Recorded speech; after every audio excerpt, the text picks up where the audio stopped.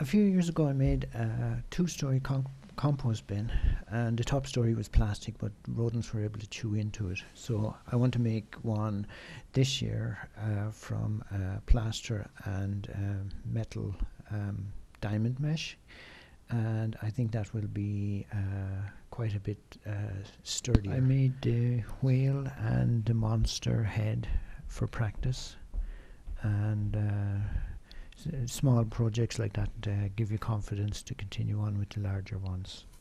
So this is 12 shovels of coarse sand to 4 shovels of Portland cement.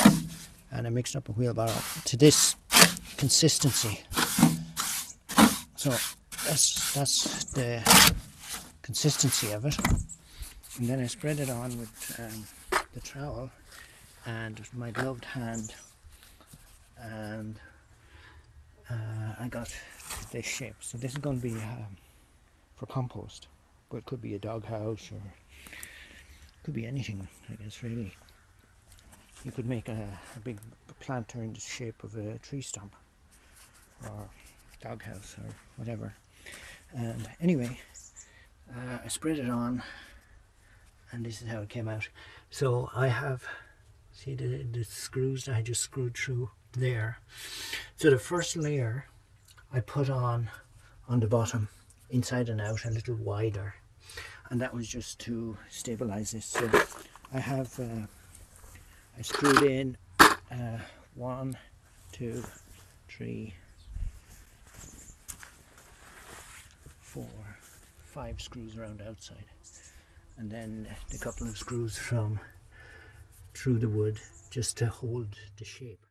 I use Portland cement in my mix this time because uh, compost is acidic and uh, corrosive to uh, the lime component of the special, the type S cement. And then I did a layer on the bottom and a layer up here, and that was again just to hold the shape, and then gradually built up to where I am now. And I'm going to use the other camera and show you uh, how I did it. So uh, this is the shape. Now you can see a few holes in it if you I zoom maybe. Know if you can see, but the light is coming through a few places halfway down.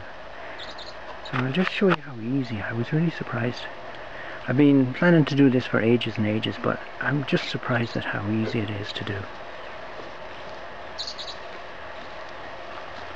So, glove on, a little material onto the trowel.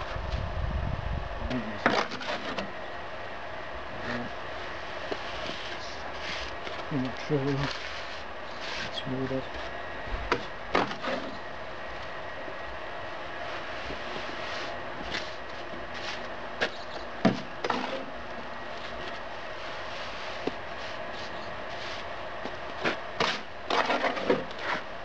And you can even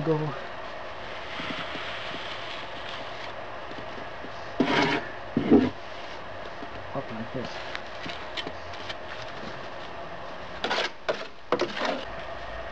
Anyway, the last little thing to do, which isn't done now, it's done later or even in the morning, is called scratch.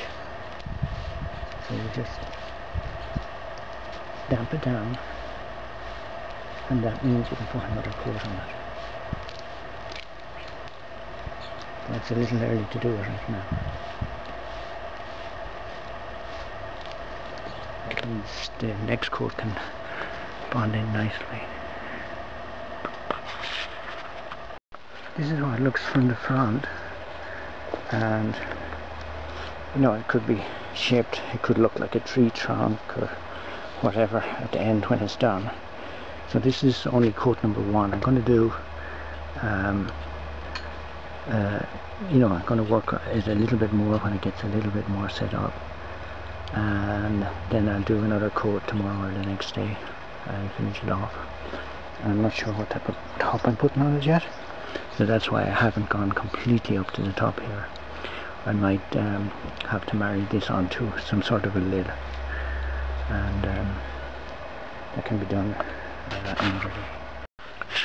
So this is the mesh that has gone into it. So it is an 8 foot by 27 inch piece.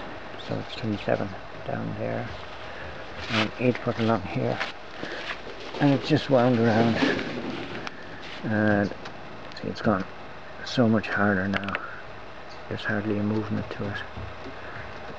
And um, I'm going to leave it another couple of days because I don't have time off work to do it.